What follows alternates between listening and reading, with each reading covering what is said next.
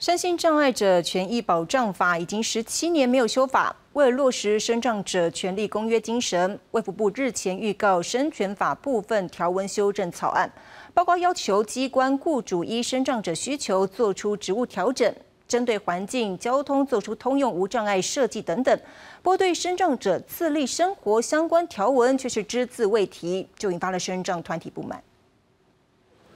身心障碍者只是某部分失能，不代表丧失生活自主权利。但卫福部日前预告修正《身心障碍者权益保障法》草案，却对自立生活只字未提，让身障团体相当不满。因为部分身障者只要弹性协助，就可以规划自己想过的生活，融入社区。因此呼吁草案应纳入自立生活专章，并增加社区服务和个人助理人数。像今天突然下大雨，很多障碍者突然下大雨的时候就没有人帮忙拿伞。或者是穿雨衣，那甚至淋雨的回去的时候，也需要有人帮忙换穿衣服等等的。如果没有这样的一些协助的话，也会感冒或者是有身体不适的问题。卫福部表示，生权法已经十七年没有修法，这次修法有五大方向，包括要求机关雇主依身障者需要做出职务调整，针对环境交通做出通用无障碍设计，有鉴于身障机构虐待事件，将对从业人员身份严加限制。另外，也加重歧视身障者言论罚则，